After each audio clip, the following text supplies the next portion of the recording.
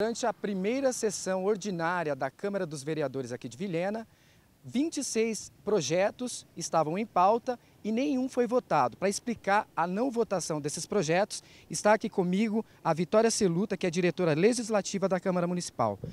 Por que esses projetos não foram votados? Regimentalmente, o projeto, a partir do momento que ele é protocolizado na Câmara de Vereadores, o primeiro passo é a leitura. Por que a leitura? Para dar conhecimento ao plenário, aos vereadores e também à população que existe essa matéria para ser discutida e posteriormente votada ou votação aprovada ou rejeitada, né? dependendo do interesse técnico e do interesse político também referente a essa matéria.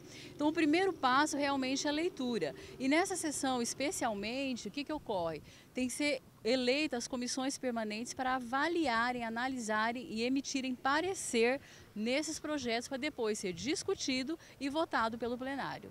Há uma data definida para a eleição dessas comissões? Sim, o presidente, o vereador Júnior Donadon, já convocou extraordinariamente os vereadores para segunda-feira, dia 9, às 9 horas da manhã, votarem e escolherem esses membros que comporão comiss as comissões permanentes da Câmara, que são quatro comissões. E são 26 projetos que na, na, na votação foram lidos, somente lidos? Não na votação, eles foram lidos na sessão ordinária, né? Então, posteriormente, depois de lido, eleitas comissões permanentes na segunda-feira, eles serão encaminhados para essas comissões para emitirem parecer. Emitido um parecer favorável ou contrário, serão discutidos e votados no plenário. Só para esclarecer a população, então, é, não houve a, a votação por uma questão legal mesmo, legítima.